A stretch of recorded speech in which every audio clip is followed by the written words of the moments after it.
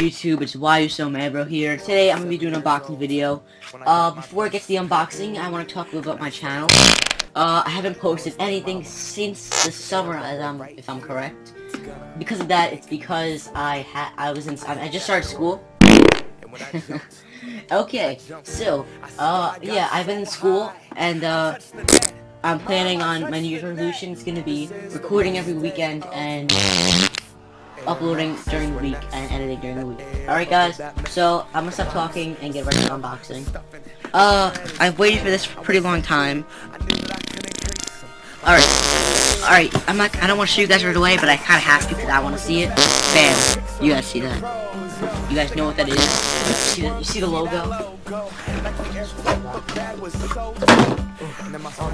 I don't care, so nice. Look at that. Alright. So, uh, first of all, I got this slip-on cover. I don't really care about that. Alright, I'm not gonna show you guys the controller right away. Right away. Um, so, this is just like the little instructions, I guess, on how to do it. Uh, I did not buy every mappable one, just so you guys know, for mapping, and then setting up your stuff Hybrid, comes with, the shows with the key and everything.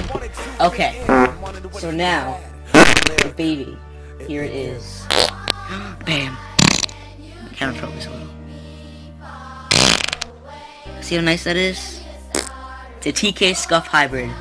Uh, oh wow, it feels so nice. Alright, I'm gonna show you what it is.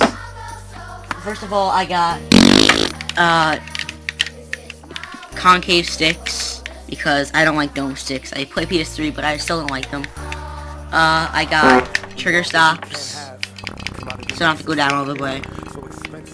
So you guys see that. And then I decided, since uh, it feels really cool and I like them, to get a scuf grip, which you guys so rugged, and it's actually like, uh, if you guys ever heard of squid grip, it's so your hands don't sweat, and also gives you more better a better grip to the controller. And uh, on the back, so see, all scufs have uh, paddles on the back. Uh, I'm pretty sure this one's A and this one's B, or it's other way around, but uh, yes, A and B configuration. And I did get the blue LEDs instead of the green, the default green LEDs. Sorry, just cleaning it off because it's like dusty, I don't know why. Alright, yeah, got the concave sticks.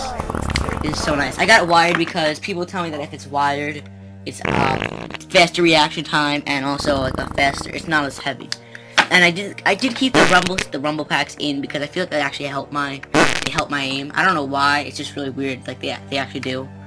So yeah, uh, that's what I wanted to show you guys today.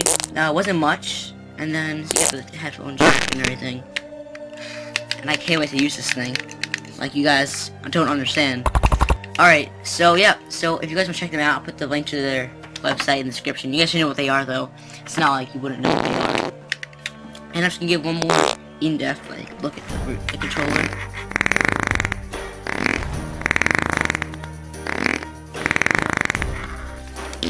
It's got grip on the. Paddles. Which I have to admit, I tried an older Scuf. The paddles seem to be different in the hybrids. They're actually a lot different in the hybrid. Like, they're more metal. These should be plastic, and they, they're a little more flimsy. They're actually pretty nice now. See the trigger stops. Uh, yeah. So, I was, you know, maybe, what I to my computer? Would that work? Oh, yeah, look at that.